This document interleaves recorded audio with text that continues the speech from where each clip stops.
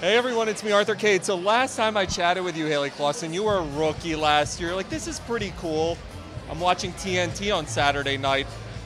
One of the cover girls. Yeah. Crazy? Um, I mean, I still can't believe it. It's crazy to go from a rookie to just being so excited to being in the magazine and being a part of it.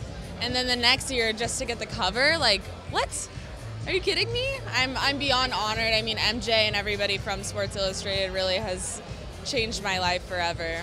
Speaking of changing your life, what is being on the cover of the Sports Illustrated Swimsuit Edition? How does it change your life? I mean, it's magazines sold everywhere, so you're gonna see it. It's just like growing up in my grocery store, you saw it, but my career is gonna change. I'm a name. I have a voice now. I can I can do and say whatever I want, not in a bad way, but you know, I can make it. I can make a difference in the world, and I can promote like healthy body image, which is what the magazine's all about. But also, my career is gonna become a whole new a whole new game. You mentioned healthy body image. I love what they did this year. I was talking to MJ about Me it. too. You, Ronda, Ashley. Talk to me about the message that SI ma- made this year with the three covers.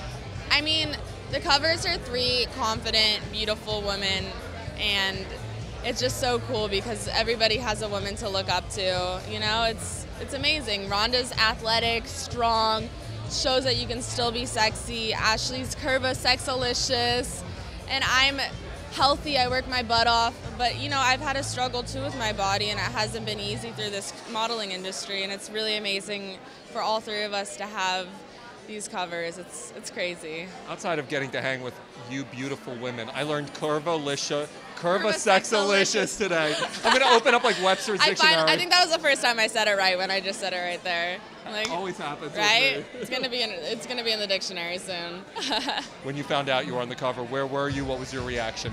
I was live on television on TNT. That was the first time you knew? That was the first time I knew. Oh I thought I thought maybe like the girls that had it, like before I knew I had it, already knew. But nope, it's a genuine shock. That's that wasn't fake. You had no inkling whatsoever? Absolutely no idea. I didn't think I had it at all. Like I didn't even have that thought in my mind. That's, real. So cool. That's so cool, right?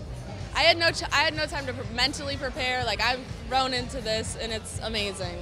You call your parents. What's their reaction? You're like, Mom, I'm on the cover of Sports Illustrated swimsuit. She, everyone thought I was joking at first, and then my mom just like, "What the heck?" and starts crying, and it was amazing. It was really really cool.